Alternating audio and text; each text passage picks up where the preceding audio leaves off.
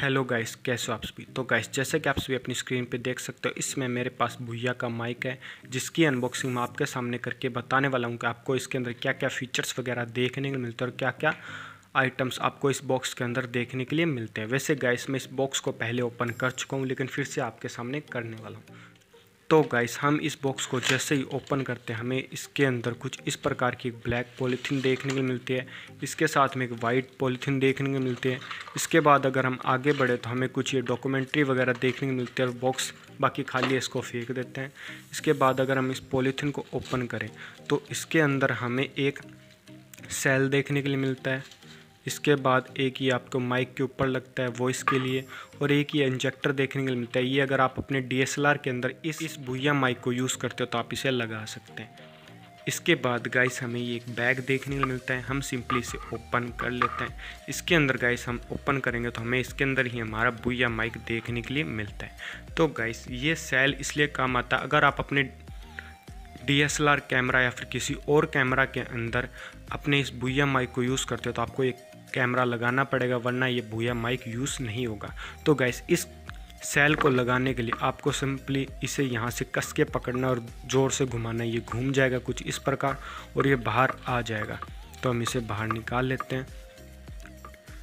इसके बाद गाइस आपको इसके अंदर एक रस्सी देखने को मिलती है, इस प्रकार की आपको इसे नीचे करके इस सेल को लगाना है। गाइस आप ध्यान रखिए कि ये रस्सी है, इसके नीचे आनी चाहिए, इसके ऊपर ये सेल होना चाहिए। तो हम इसे कुछ इस प्रकार से लगा लेते हैं। अब गाइस तो गाइस अगर आपको इस सेल को बाहर निकालना है तो आपको इस रस्सी को सिंपली खींच देना और आपका जो सेल है वो बाहर आ जाएगा। इसलिए ये रस्सी यहाँ पर दी गई है। तो गाइस आप इस बात का ध्यान ज़रूर रखें कि ये सेल इस सेल ये जो रस्सी है, इस सेल के नीचे आनी चाहिए कुछ इस प्रकार। फिर गैस आप इस रस्सी को थोड़ा घुमा के इस बॉक्स को फिर से यहाँ पे ऑफ़ करते फिर गैस आपको इसके अंदर मैं आपको फीचर्स दिखाता हूँ कि क्या मिलते हैं। इसके अंदर गैस आपको इस प्रकार के बटन देखने को मिलता है। अगर आप कैमरा से अपने डिवाइस में शूटिंग वगैरह करें तो आप सिंपली इसे ऊपर कर दें। और अगर आप स्मार्टफ़ोन से इस माइक को यूज़ करें तो आप इसे सिंपली नीचे कर दें। बस ये फीचर आपको इसके अंदर देखने के लिए मिलता है। इसके बाद ये नॉइस वाला आपको देखने को मिलता है। आप सिंपली इसके अंदर इसको ऐसे घुमा के लगा दे थोड़ा। इतना करने के बाद गाइस हमारा जो ये भूया माइक है, ये रेडी हो जाता है।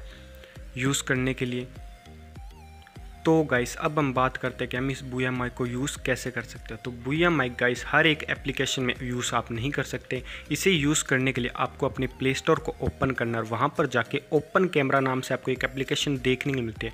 आपको सिंपली इसे डाउनलोड कर लेना है। इसका लिंक भी मैं वीडियो के डिस्क्रिप्शन में दे दूँगा।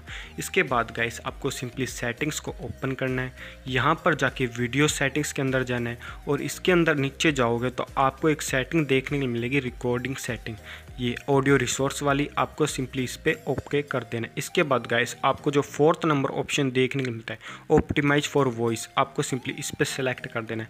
अब गाइस आप अगर अपने भूया माइक को यूज़ करोगे तो आपको एक अच्छी वॉइस भूया माइक से देखने के मिलेगी। अगर आप किसी भी और एप्लीकेशन जैसे कैमरा की एप्लीकेशन वगैरह आती है, उसमें भूया माइक को लगाओगे तो आपको बिल्कुल भी साउंड अच्छी देखने के लिए नहीं मिलेगी, क्योंकि ये वर्क ही आपके जो डिवाइस है, उसके अंदर नहीं करेगा। अब गाइस मैं आपको एक बार इसका साउंड भी सुना देता हूँ कि कैसा देखने को मिलता है।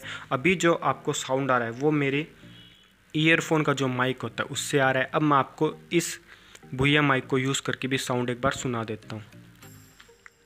जैसा कि गाइस आप सभी अभी जो साउंड सुन पा रहे हो, वो आपको भूया माइक से देखने के लिए मिल रहा है। जैसे कि आप सभी अब डिफरेंस देख सकते हैं कि पहले ईयरफोन के माइक से आपको जो साउंड देखने के लिए मिल रहा था, और अब जो साउंड आपको भूया माइक से देखने के लिए मिल रहा है, उन दोनों में कितना डिफरेंस है। तो गैस इसीलिए मैंने इस भूया माइक को परचेस किया है। गाइस अब आपको फिर से जो हमारा ईयरफोन है, उसकी साउंड सुनाई दे रही है। अब गाइस सबसे पहले मैं आपको रिकमेंड करूँगा कि अगर आप अपने स्मार्टफ़ोन में इस बुया माइक को यूज़ करते हैं तो सबसे पहले आप ये सेल और ये जो टूल है कैमरा में लगाने वाला। आप इसे संभाल के रख दें, क्योंकि अगर आप फ्यूचर में कभी अपने डीएसएलआर कैमरा के अंदर इस बुया माइक को यूज़ करोगे तो आपके काम आएगा। आपको अगर इसे डीएसएलआर कैमरा में कनेक्ट करना तो आपको सिंपली इसके अंदर इसको लगाना है फिर आप इसे कैमरा के अंदर लगा सकते हो। तो गैस मैं आपको बताऊँगा कि अगर आपको डीएसएलआर यूज़ नहीं करना तो आप इसे संभाल कर छोड़ दे एक प्रकार। अब गाइस अगर इसकी लेंथ की बात करें तो आपको काफ़ी अच्छी लेंथ देखने को मिलती है। अगर आप अपने कैमरे या फिर स्मार्टफ़ोन से थोड़ा दूर भी हो तो भी आप इसे अच्छी तरह यूज़ कर सकते हो, आपको एक अच्छी क्वालिटी और अच्छी लेंथ देखने के मिलती है। और गाइस अगर इसकी प्राइस की बात करें तो मैंने इसे ऑफलाइन मार्केट से ही पाँच सौ के अंदर परचेस किया है। हो सकता है आपके ऑफलाइन मार्केट में आपको कम ज़्यादा देखने के लिए मिले।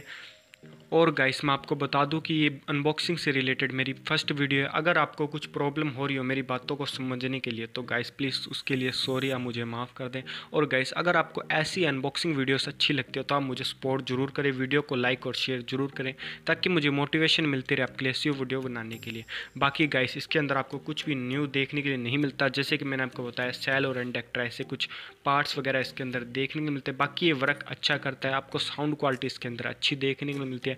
लेंथ वगैरह भी अच्छी है। अगर आप यूट्यूब वीडियो या फिर व्लॉग वगैरह बनाते हो तो आपको एक अच्छी ऑडियो क्वालिटी इसके अंदर देखने मिलती है। बाकी गाइस आपको अगर वीडियो में कुछ अच्छा लगा हो तो चैनल को सब्सक्राइब और वीडियो को लाइक ज़रूर कर लें। चलिए मिलते हैं हमारी किसी नेक्स्ट वीडियो में।